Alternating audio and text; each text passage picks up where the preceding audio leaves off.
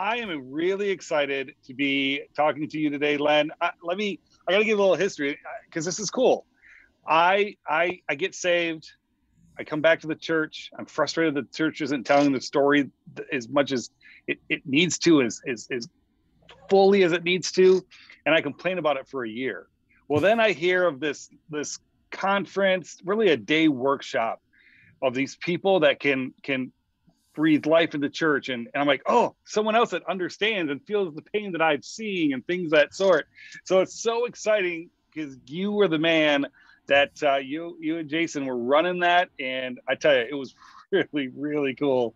It was because it was seriously, it was like, am I the only one? Why doesn't anyone see this? I mean, this is back whew, a long time ago, um, where churches didn't have church marketing people. They they right. there was nobody on their staff. It was you know probably the assistant to the assistant that was taking care of stuff, you know. And so it was, it's such a cool. And now I get to, get to be here. And and and it used to be we could have lunch together because we were both in Atlanta. You were at Peachtree, I was at Victory, and now now we're both in Texas, a little further away, but. uh now we're both you're back in texas is texas home for you originally texas uh, well I've, I've lived a lot of places but uh, middle school high school college and then in my 30s when I was running Midnight Oil when we first met, yeah. uh, those were all Texas years. So yeah, Texas is the the home state by virtue of most years, I guess. That's that is great. Um, all right, so now you are digging into invite resources. Talk to me about that, and, and like give me the origin story because this is this is your origin story, right? Right. Yeah. Yeah. As you know from the the time we first met, that was like um 03 or something, yeah. 02, uh, something yeah. like that. Um, I had been, I had begun writing and speaking around the use of uh, screens in worship and, and communicating the gospel more interestingly and more effectively. Uh, and had begun writing mostly for the United Methodist Publishing House. Uh, had yeah. nine titles, did all this history with them from as an author, and then I went to work there inside that house in Nashville in the Christian publishing industry for a bit, and oh, yeah. um, discovered a lot of kind of frustrations about how Christian publishing was working. And at, at first, I thought it was just me. You know, I was just like, I, you know, I just don't understand this. But but then I got inside there and I realized that I acquired 55 books. My my title was Senior Acquisitions Editor over Leadership. And so I acquired a lot of books, and to a person, everybody was saying the same things that I had said. Yeah. Like it was like publishing's a black hole. You just you send something in, you don't know what happens. No one markets the book. No one helps me cultivate what I'm doing. No one cares about the platforming. They want you to already be platformed. It's like this weird catch twenty two. Like yeah. they won't publish you unless you're platformed. they don't help you platform. Right. You know, and all this kind of weird stuff. And so. um you know, I, I left there in, in 2012 to go to work at Peachtree in Atlanta, as you mentioned. Um, and then came uh, back home to Texas in 2016 in a in a role uh, as a creative director for a large Methodist church here in Plano called St. Andrew. In fact, that's the, yeah. uh, the oh, there it is. yeah, and um, but from the, the day I, I joined staff, one of the associates there had also published a couple of times, and so we we commiserated over how bad Christian publishing is, and um, and it just talked about how we would do it better. And, then in 2018, we were invited to um, consult on this panel for this. It was going to be a competitor to Right Now Media that was going to oh, launch. Oh, and we were going to yeah. do some things, and so um, we were on this panel and basically everything we said not to do they wanted to do everything we said do they didn't want to do and we were like it cannot be this hard And so we came right. back and we were like we really need to start something day to day you know how it goes and so then we're moving along and then we get to, to covid and yeah. first day of shelter in place was Friday the 13th, 2020. It was like the, you know, the end of the world, right? Yeah. And yeah. so uh, we, we talked to one another that day. And then that Monday made the decision. We are like, let's let's start this thing. There's no better time yeah. than than this time because no one's going to do anything. And I could just dive in and focus on on this new startup. And so we did that. So we like to say that while the world pressed pause, we pressed play and we just went for it and did a new startup and and uh, have been rolling since. So now it's two years and a quarter that we've been That's going. Great. At. I mean, as hard as as hard as COVID was, and and and still continues to to to be a pain in everyone's side, it also brought some really neat opportunities. I mean, I, have seen a lot of things grow out of that. You know, it's a so desperate time, desperate times be desperate measures. You're like, all right, you know what? Everything else is falling apart. Let's just go into it. If we're going to fail, let's fail now. And so it's really cool by people digging into that and just saying, let's go. Let's use this as an opportunity to start a new business, to, to write a new book or whatever the types it is. You know, the churches that are going online, all that kind of stuff. And so that's, yeah, it, what, a, what a great opportunity to be able to, to start. So how, starting, starting something like this, what are some of the initial hurdles that you had to get over? Well, we publishing. A lot of people said the timing is kind of interesting, but they were like, "Why would you get into publishing? Because you know no one wants to read books." And, and there's a level at which they're right. Uh, we we did a survey once at Abingdon that uh, the average this was ninety thousand people on this mailing list, and and we we learned that the average uh, church leader uh, bought eleven books a year and read two of them. oh, that's not a good return. No. so we're like, I mean, I, there is this phenomenon. I don't know if you've ever done this, Michael, but I'll buy a book and it'll sit on my nightstand for three months, and I think I've read it because I've been staring at the cover the whole time, right. but I actually haven't. Yeah. You know, so so we were kind of joking about that. We were saying, you know, there's definitely this trend. But on the other hand, if you look at at stats at the broader level, like Publisher Weekly stats and New York Times stats that actually show book sales and book readership is up over the oh. last oh. two to three years. Okay. So just like how ebooks were going to take over, but then print came back, it's kind of the same phenomenon. I do think yeah. people still value and love the experience of a tactile book. Um, so, so there's that that's that's kind of one of the hurdles we began to ask, and we really felt like it's a, it's a both and thing. The, the biggest yeah. need though is that there there is a need, especially in our kind of Methodist or larger Wesleyan tradition. Mm-hmm. There's a mm-hmm. huge need for a new platform for ideas. Yeah. Uh, like, like if you look on the reform side of our like the Protestant, actually at a, at a much broader level, I'd say in American life, what I like to say is that you divide religion into four quarters. A fourth of the of the country is the, are the nones and the dones. They don't yeah. care anymore, or they never cared. You know, they're yep. just nothing, you know, whatever. And then you have a fourth that are Roman Catholic in their orientation. Either they attend church or don't, or whatever. Right. And then a quarter are more Reformed Protestant, and then a quarter are the Wesleyan Protestants. Yeah. Uh, you know, and all their because okay. each each one of those buckets have tons of denominations. More right? more buckets within them. Yeah. Yeah, yeah. Now the, the Reform side have the Gospel Coalition. They have this amazing site four million hits a month. Uh, go to this oh, wow. this site. Lots of attention. Very formed. Very kind of structured. And I would characterize, and there might be some some reform listeners who can make me better at this than what I'm going to say, but but I would say that the, the, a lot of the reformed theological uh, the worldview is the life of the mind, like helping to understand theologically what's happening in Scripture and mm. kind of like you know that whole thing. Whereas the Wesleyan view is more more like lived, more right. practical. You know, how do you live like Jesus? And, and there's really no kind of central space for that. And so we said we need that. And and the press is our, our first pillar to start that out. And so we're starting to put out books monthly. Now we'll do two books a month starting in the fall. And then our second pillar is is going to be um, kind of that that online hub of content yep. to help people understand what it means to to live like Jesus yeah. in, in a very practical kind of way.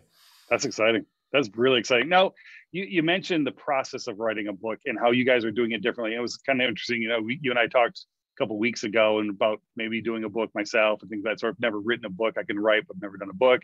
And I I was really taken in by by the process that you you you really follow. So t- talk to us a little bit about that. One of the things that I discovered uh, when the edit with the editor hat on uh, someone told me one time early on, I'd been at the publishing house like three or four months, and they said, You're a cultivator.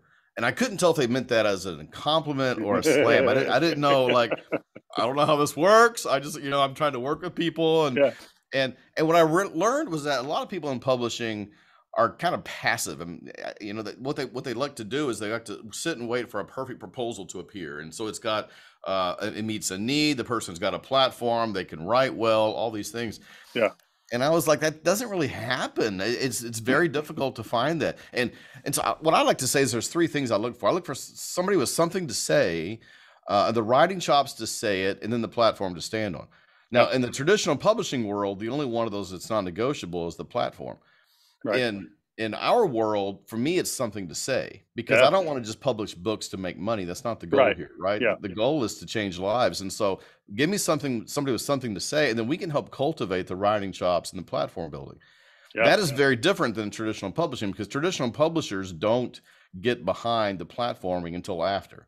So the way that works, so like HarperCollins and Zondervan are kind of the two biggest yep. Christian imprints. They've both been yep. purchased by Harper. Uh, I said that wrong. Nelson and Zondervan are the two biggest imprints. And they both been pur- yeah, and they both been purchased by Harper, and they work on a bestseller model. So the way that works is they have 500 plus titles a year, like literally one to two a day. They're just chunking them all out, and maybe five to ten of those, one to two percent, might organically kind of take off. Right. And it's not until after that happens that they put any marketing money behind it.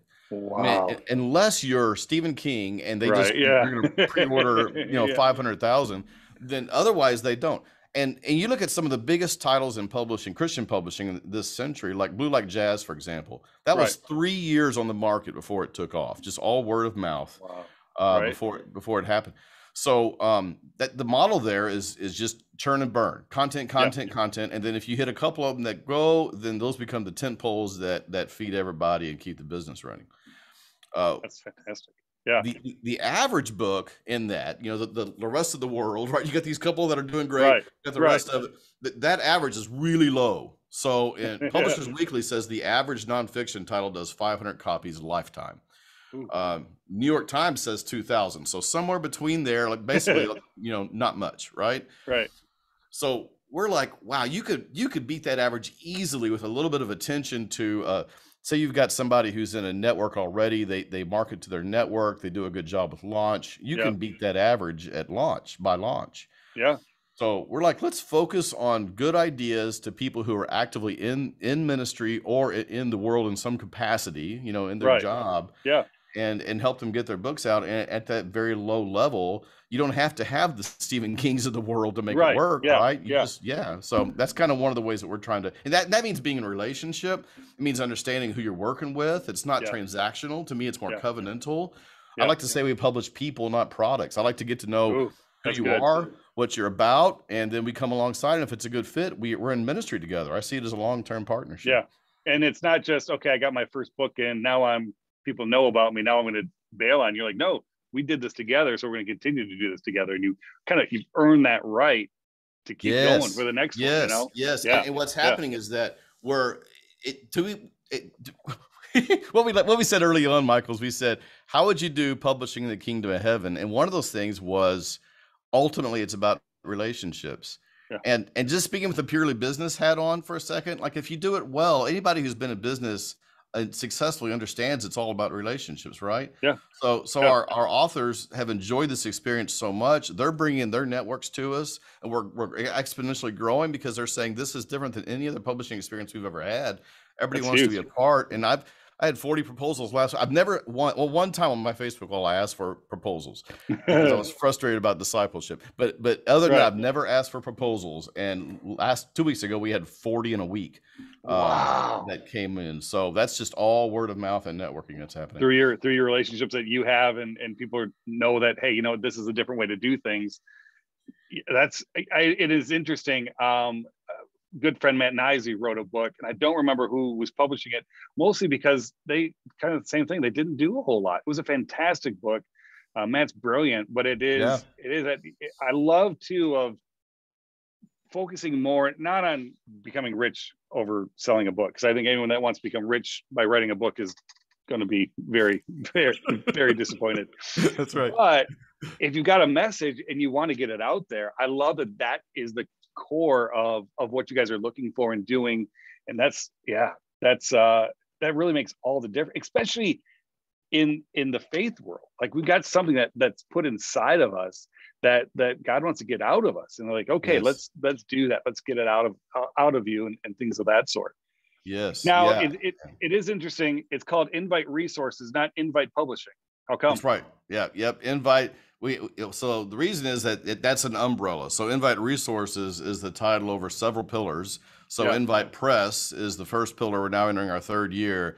Invite yeah. Media is our second pillar, which we're in the process of launching this calendar year. Yeah. And then we have opportunities to do other things. I, have got crazy visions, Michael. I'm thinking about uh-huh. invite events, invite conferences, yep. invite films.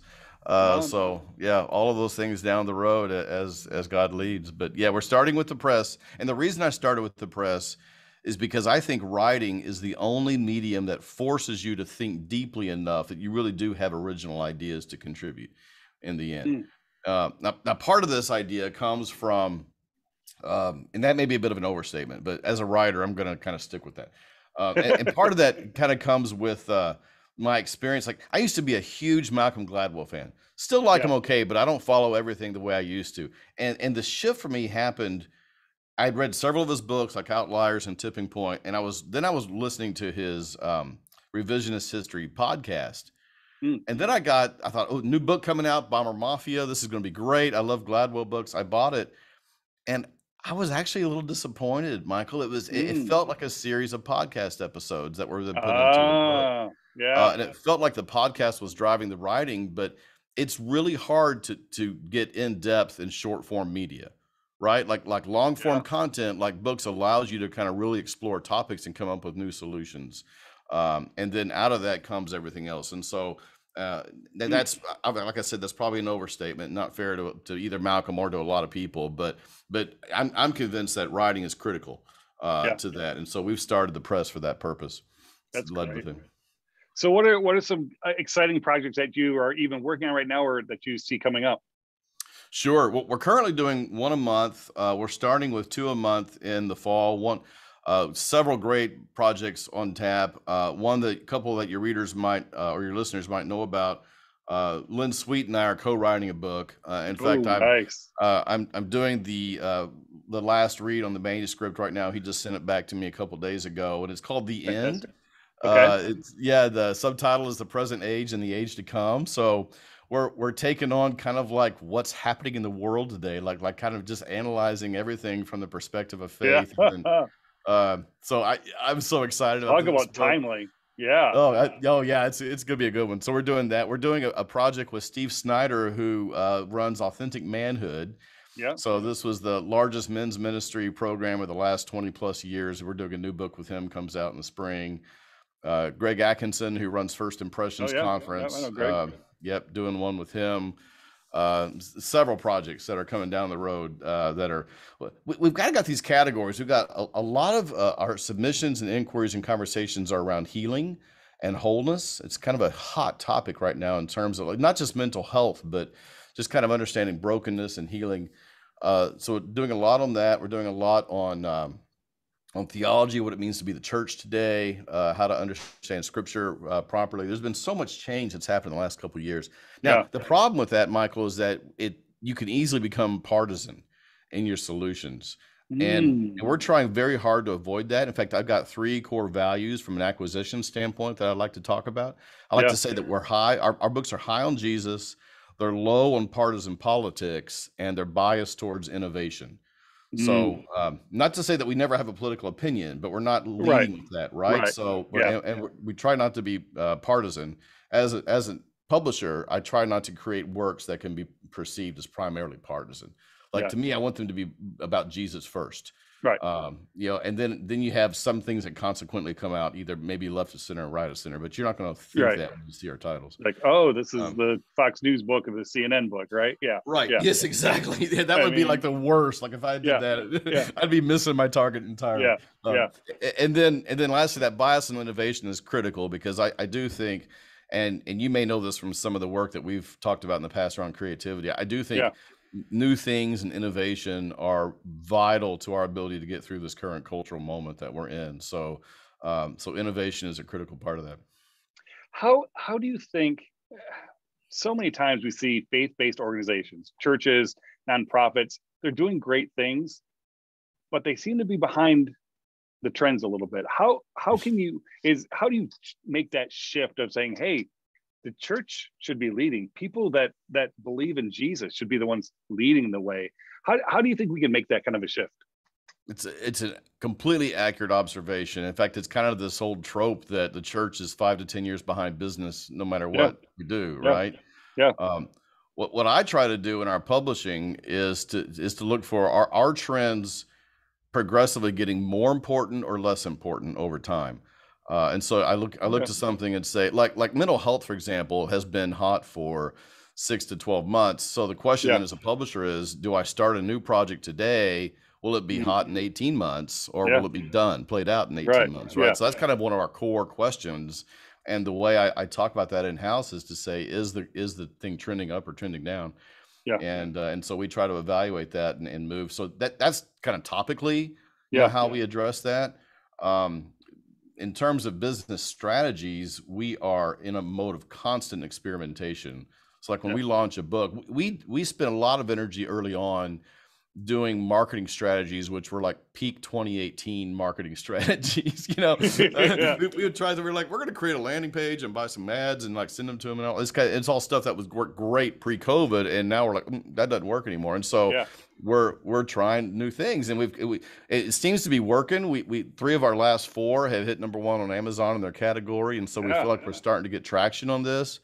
I had one guy write me and say, "What's your send me your notes on how you're doing?" And I'm like, not going to do that, but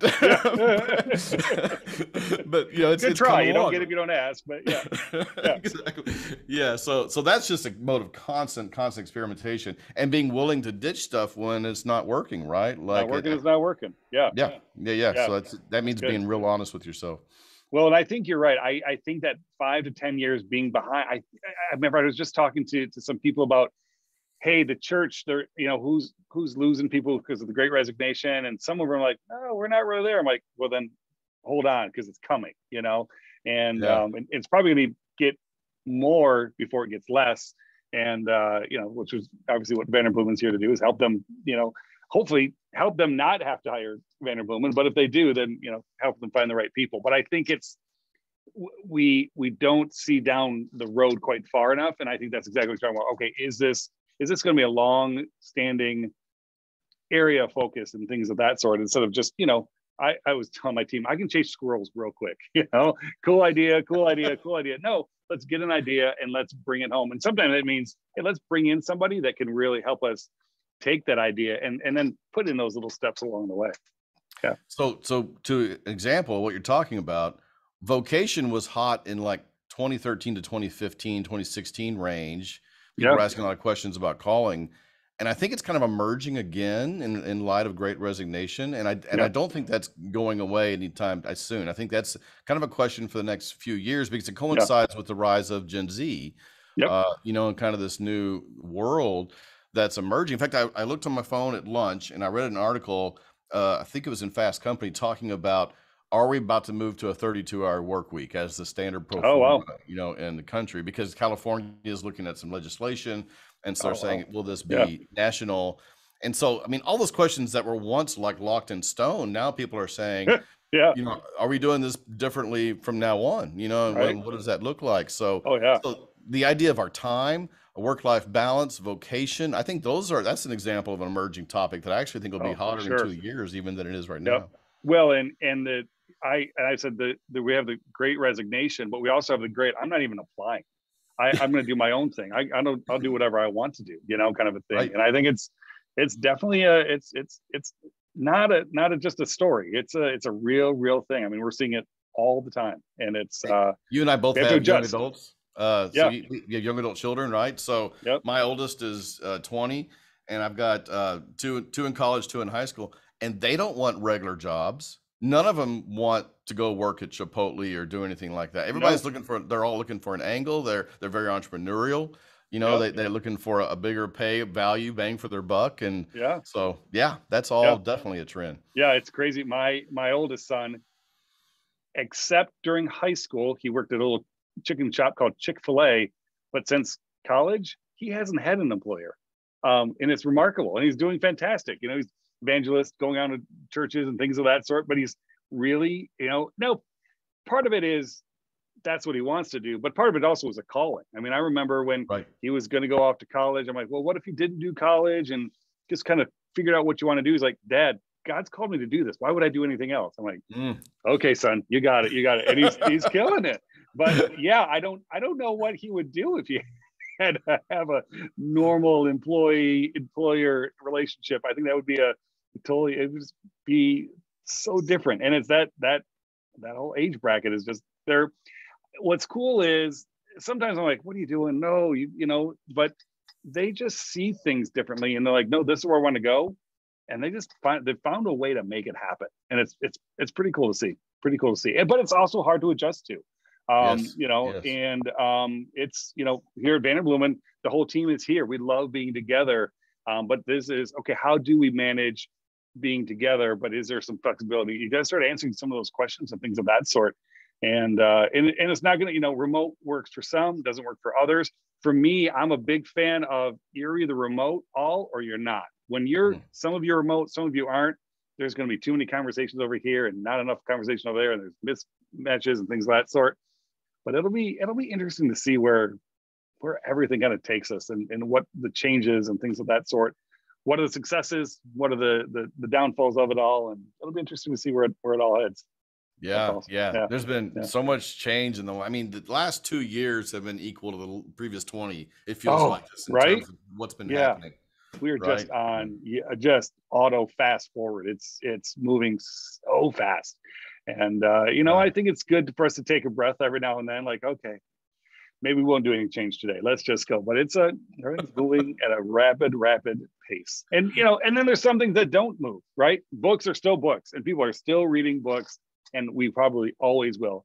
Will it always be in paper? I I do it more audio than I do paper nowadays. But sometimes I need a book to just okay, let me dig in, let's sit down and, and take that moment and pause for sure. For sure. Yeah. Yeah.